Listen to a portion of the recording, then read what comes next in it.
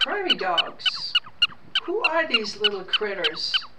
They are actually a key species supporting over 150 other animal species with either food or shelter, and they're so often misunderstood and also mistreated.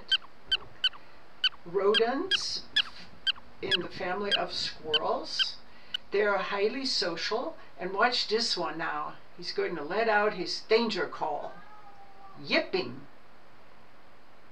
Yeah, there he goes. Oh, yes. Danger, danger. That's how they tell each other if there is perceived danger. The other thing they love doing is kissing or sniffing each other. When they recognize each other from the same tribe, that's what they do. These are little pups that have lived in there for a while. They were born this summer or uh, this year. A little more kissing, yes. Brother, sister. So these prairie dogs live in burrows, elaborate burrows called prairie dog towns. The pups here are playing, they're having a ball. They're still young and babies, so so they have time to be kids for a while. It's so cute. Look at look at this one. I get such a kick out of these little ones. These prairie dog towns are spread out in the western United States, but many of them have disappeared. They're either being plowed down or paved over. And this, of course, hurts those animals that use prairie dogs as food. The number one animal that needs prairie dog to, to eat is the black-footed ferret, which is highly endangered. The government has been trying for years and millions of dollars. Oops, look at this. There's quite some rough play going on. Millions of dollars later, the black-footed ferret is still not doing well, partly because we keep eradicating the prairie dogs.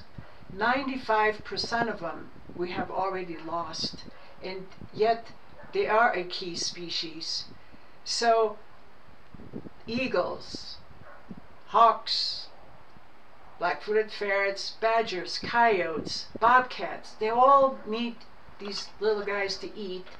And then we have burrowing owls, we have rabbits, we have snakes, we have many others that use their dens for shelter. So prairie dogs are so important.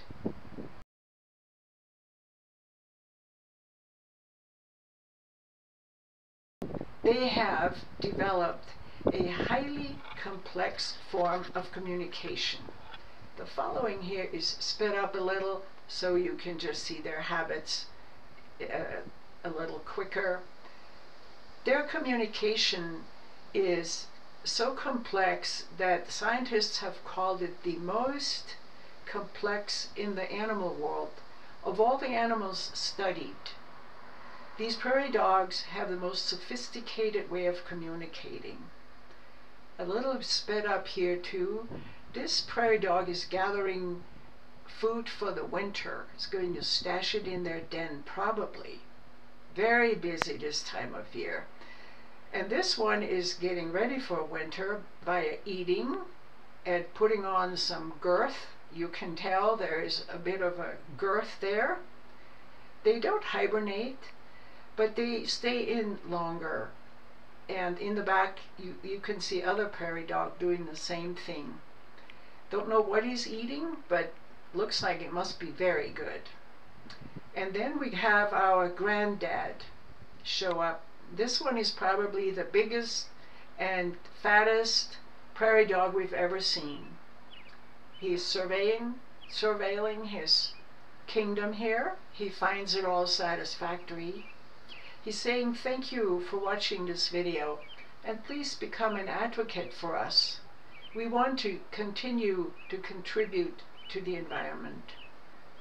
If you like this video, please subscribe below and thank you so much for watching.